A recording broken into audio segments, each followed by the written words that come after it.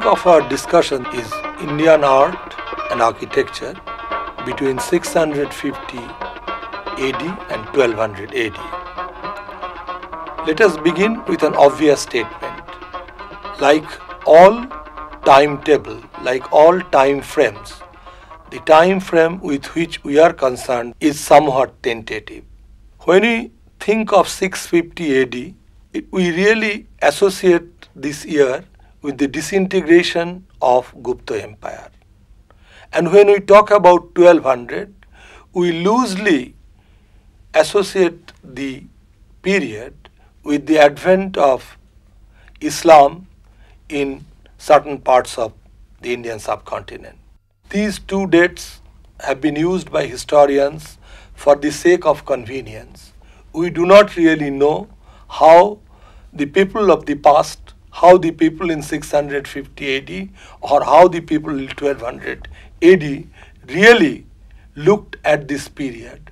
Did they look at their own surrounding in terms of a decline, a disintegration, or was it for them a kind of uh, continuity? The kings came and kings went away. Kingdom rose and kingdom fell. But did, they, did it really affect their lives? Similarly, when we think of 1200 AD, when we think of the advent of a new worldview, a new ideology on the uh, on Indian soil, did it mean an abrupt break from the past? Did the people of India unduly alarmed at was, what was happening? It is as a matter of convenience that we have to look at this time frame. Historians have debated on how to look at this period. For example, Nihar Ranjan Roy argued and argued with sufficient uh, justification that here in this period we are really confronted with a new kind of situation which he called medievalism which was a break or which was a change from what had happened in the earlier periods of history. In recent times, Professor B.D. Chattopadhyay has contributed to this debate and between Roy and Chattopadhyay, we now have a kind of coherent uh, picture of or coherent idea of how to look at this period. The most important feature of this period is growth of regionalism. If Indian art and architecture of this period can be characterized by the most important element, it is regionalism. Gupta art had created an all-pervasive aesthetics. This all-pervasive notion of ideal form will be transformed will be redefined, will be reused and reinvented by the artists, by the craftsmen, by the canon makers, the makeup people who made the Shilpo texts, and by the patrons and devotees in the years between 7th and the 12th century AD. How did it happen?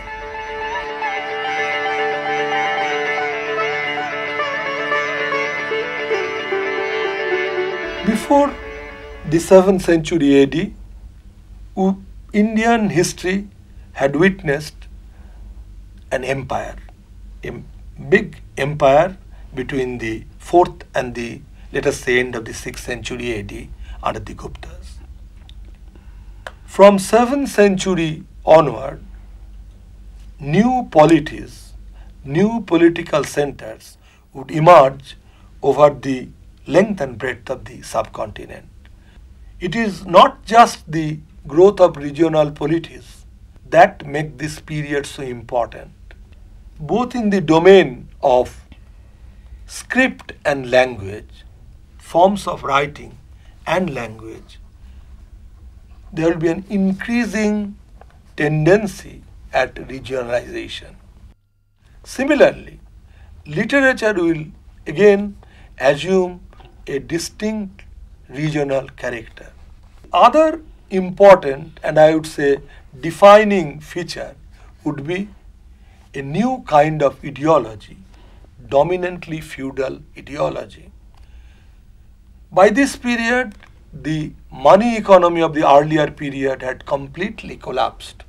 Agriculture became the mainstay of economy and the agricultural surplus generated on a grand, grand scale would give rise to a leisurely community who would emerge as patron of art and culture. And it is this community which will promote the idea of bhakti. This ideology will reinforce the new feudal social order where the tie of loyalty between the local potentates, the subject people and the intermediaries will be very, very important. And the concept of bhakti will reinforce not only the feudal society, it will reinforce much of the art and art architecture that would emerge during this period. It is in this period that both Brahminical Hinduism and Mahayana Buddhism will evolve a more complex character from the placid world of iconography of the Gupta period will now enter into a phase where the world is the, the, the iconographic world will be dominated by multiple forms multiple forms of Shiva, multiple forms of Vishnu, multiform, multiple forms of Devi. Similarly, in Mahayana Buddhism, the idea of Buddha and Bodhisattvas will now develop into large number of tantric deities, Tara and her followers. Similarly, in Jainism, large number of Shasana Devi and attendant Yaksha of the Jaina Tirthankaras will be created. In other words, the religious scenario will become very complex.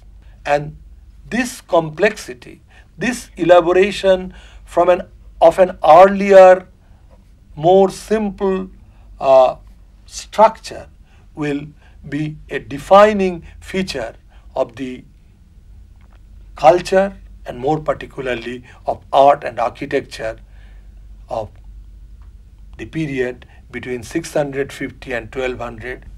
It is in 7th century AD a very significant development took place in Mahabalipuram in the state of Tamil Nadu.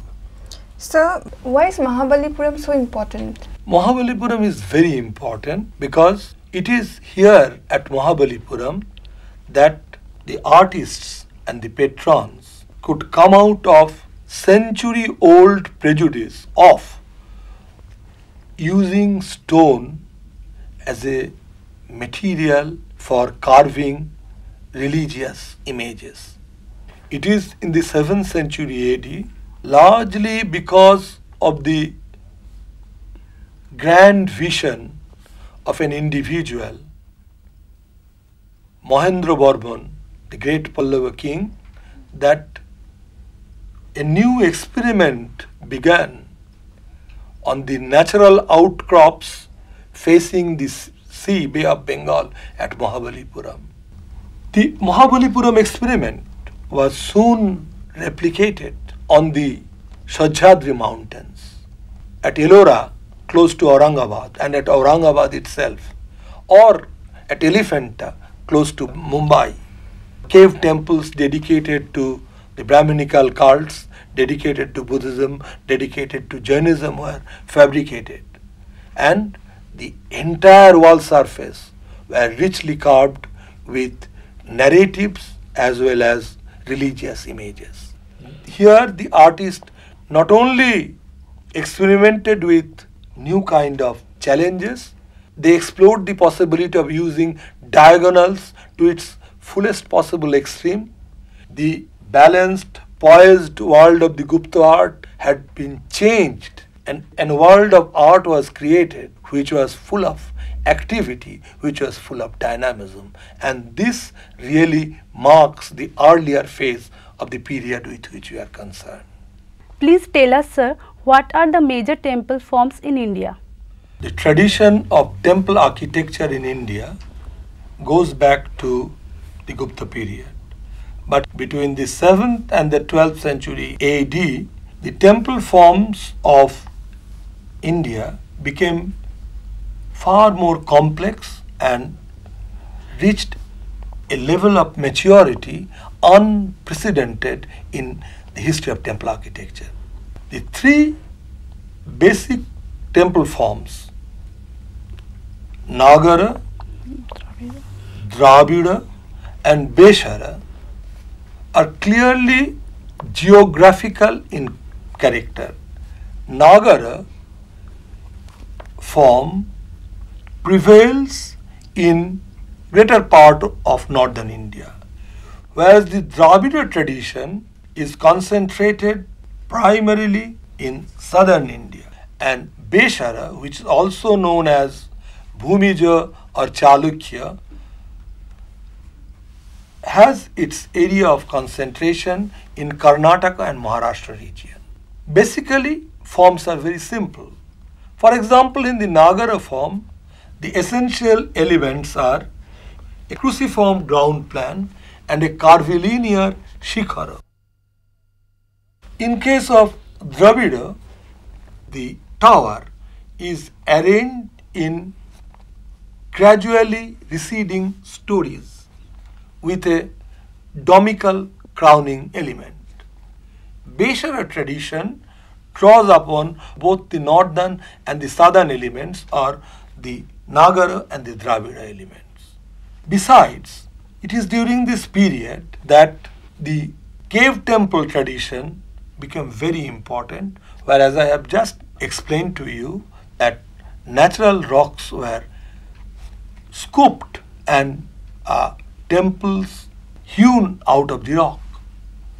In the domain of Buddhist architecture, the simple stupa of the earlier period will now give way to the growth of increasingly complex stupa form with very elaborate chhatra, with very elaborate superstructure. And this tradition will be further uh, carried forward and made much more complex in the Himalayan uh, territories of Nepal and uh, let us say Tibet. So, the main course of development of Indian architecture, temple architecture to be precise, is from a simple form to an increasingly complex form. In a city like Madurai, for example, the entire city or the substantial part of the city is enclosed within these gopurams or temple gateways. So the journey is from a simple form to an increasingly complex form wherein at one point of time the substantial portion of the landscape is enclosed within the temple complex. There are also several sub-regional varieties. The temples in Odisha, for example, the very significant group of temples in Bhubaneswar, is, is in Nagara style, as are the temples of Khajuraho in Madhya Pradesh. But there are very important differences between the Nagara style of architecture in Odisha and Nagara style of architecture in Khajuraho. Regionalism becomes the hallmark of art and architecture.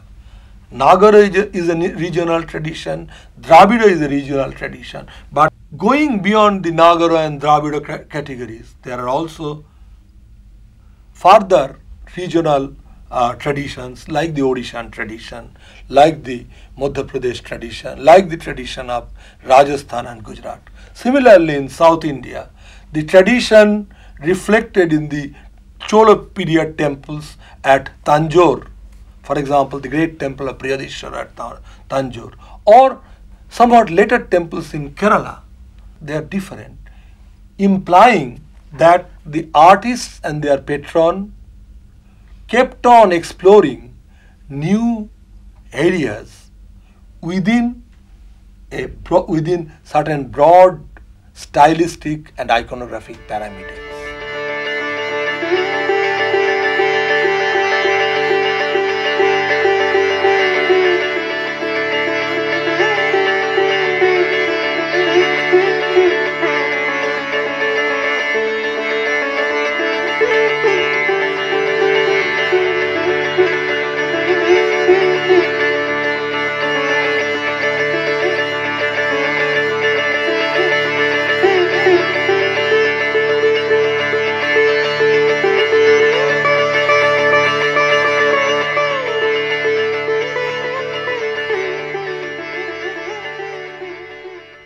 When we talk about architecture, we have also to remember that the most important and certainly the most productive phase, the most productive dimension of the art activity during this period are the sculptures.